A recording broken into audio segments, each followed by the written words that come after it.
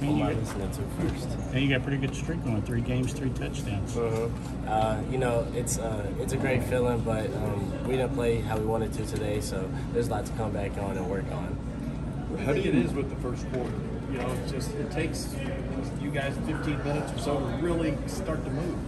Uh, yeah, um, we really started off slow today. Like I said, we just we got to come out with the uh, intensity like we come out with practice, like we're playing our defense and how we do at practice, and just come ready to play from the first quarter and the first whistle to the last whistle.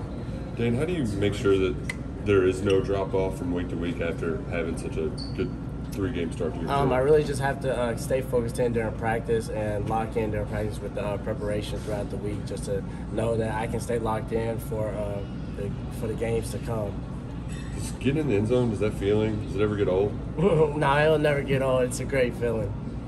Stoops said after the game he just wants to see you be more consistent and take the next step. But for you, I mean, you've had three great games. What is the next step? The next step is, you know, just keep building on the games, and like Coach Duke said, just keep building each week, getting better each week. How comfortable are you just in your role, this position? You know, you become a big target early on. Just how comfortable are you just when your number's called to just take off? Um, I'm starting to feel really comfortable when my number's called. When my number is called, I just think about the play and then just think, oh, like it's time to make a play here and just go do what we practice all week. How how exciting was it to see some of the, the other wide receivers get involved today? Oh, uh, I love seeing everybody in the room get involved because we're so we're so close in the receiver room. It's just great when you know somebody else goes and makes a play. Like when C. Lou made his touchdown, you could see all the other receivers on the sideline just excited for him because he got his for he got his touchdown. You know it's not going to get any easier for you because no, no. is picked to win the division in the MAC. Mhm. Yeah, um, it's not gonna get easier. Like I said, um, we just gotta stay uh, locked in during practice and just keep the preparation we've been having from week to week, just to uh, get better and just keep climbing up those steps.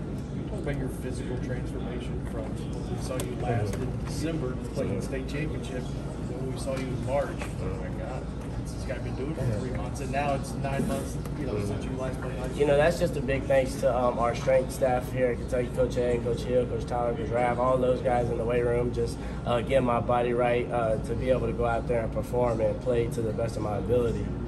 Dane, obviously the season isn't over, but you've already tied the UK records for a freshman uh, in terms of touchdowns with three. Um, when you think about something like that this early on in the season, what goes through your mind, just in terms of you know looking back on your preparation getting to this point? Mhm. Uh, just coming in, um, I really just wanted to, uh, you know, just play a role and play a role on the team and just come out and, you know, just make plays when my number's called. And I just feel like, you know, um, it's pretty cool to uh, be one of those, one of the first freshmen or whatever you said. But it's just, you know, just doing what I can do to help the team to win. Dan, I know you have confidence, but are you a little surprised at how well this has gone right out of the gate? Um, no, I'm not surprised because just because the fact, um, like all week of practice, not even all week, but it's been so long since I feel like I've been here from coming in January and the preparation that I put in with um, all the other guys, and we have a great defense here. So just going against those guys every day, it just it can only help me. You feeling the pride uh, of uh, Douglas with uh, Dekel getting the game. Yeah, I love when Dekel gets in the game. I love when all the all my friends get in the game just for the fact that um, we grew, we grew up together. Dekel got his catch today, and whenever he makes a play, it just it makes me happy. You know what he can do, but not a lot of people who didn't see him play a couple of years ago really have seen anything because he's been hurt so much. Right, I, I really I know what Dekel can do. He's something special, and whenever Dekel's number's called, I know he's gonna go make that play. It's been many- special, you say, two weekends for Coach Stoops. What has it been like just having a relationship with him and just early on as a coach now that he's, you say, had this special? Right. So being with Coach Stoops, um, when he was recruiting me, it was always something. You know, I just always felt that connection with Coach Stoops, uh, being recruited. That's why I came here, of course. And then when he um, gets an accomplishment like he's been getting the past few weeks, it's sometimes like you just want to give the man a hug. How many texts did you have after the Florida game? My phone's blowing up. I didn't really even want to get on my phone after the game.